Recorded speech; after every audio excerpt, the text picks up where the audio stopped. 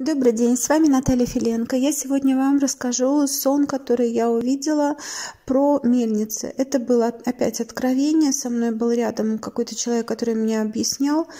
Э, эти мельницы не просто мельницы, это мельницы символы наши, наши славянские, которые мы видим э, как изображение свастичных символов э, они очень сложные, много о них рассказано как о каких-то богах и так далее, но на самом деле это чисто технологические символы, Возможно, у них есть и другая а, функция, также божественная, возможно, космическая, как нам рассказывают, но потом надо смотреть, кто рассказывает. Но на самом деле мне сегодня было прямо конкретно очень показано вот эти мельницы. Я была, пребывала в таком мире, знаете, благодати.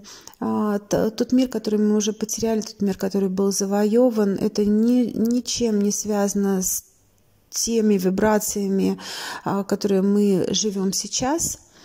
А, ну, я так говорю вообще о не частных, частных лиц, да, а вообще вот как устроено мироустройство – я была в такой благодати, где солнце светилось прямо изнутри твоего сердца. Вот такое равновесие, такое не передать гармония, вот, наполненная вся любовью, созиданием, светом, теплом каким-то родственным. И вот эти вот мельницы, мне был показан механизм, как они работают, и все эти лопасти, и все эти вот само ее устройство, ее рисунок также с лопастями, да, это вот то, что мы называем коловратом, то, что мы называем там другими вещами, которые здесь нельзя называть, которые были, были убиты во время Второй мировой войны. Сам символ был убит, его даже нельзя сейчас изображать. Вот, но на самом деле это именно технологические такие моменты, которые несли людям, а, роду нашему, славянам, а, несли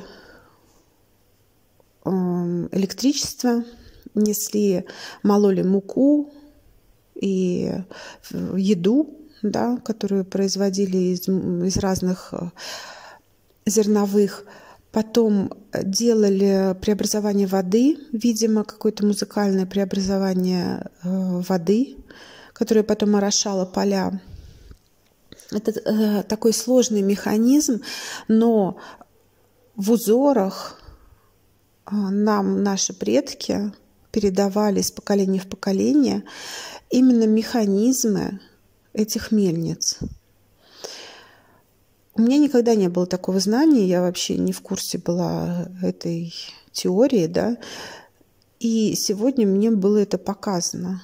Простота никакой затуманенной там истины.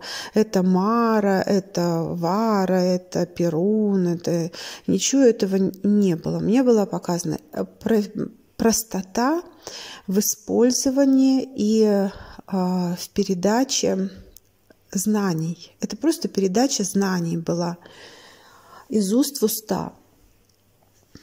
И очень качественная передача знаний, потому что дошло до нас.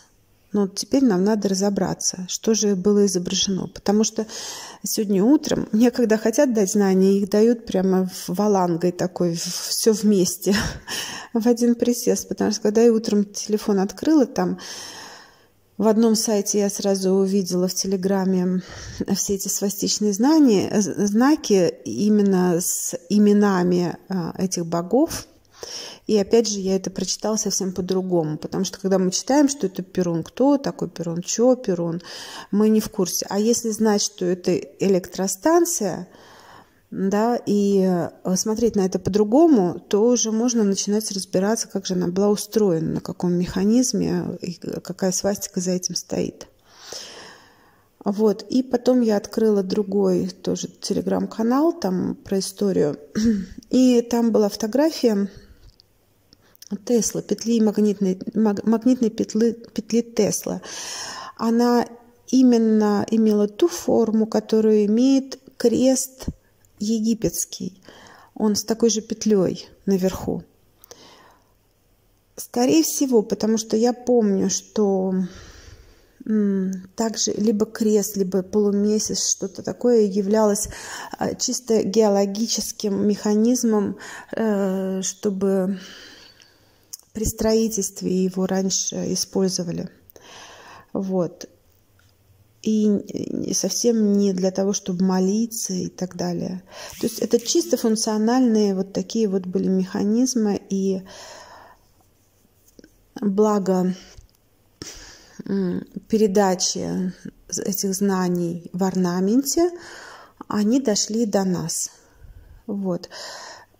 Такое я хотела вам сделать маленькое повествование и поделиться с вами моим сегодняшним знанием, которое мне было передано через сон. И я этому очень доверяю, потому что это не мои изыскания, а именно основанные на внутренней духовной внутреннем духовном путешествии и общении. Всего вам доброго. С вами была Наталья Филенко. Пока-пока.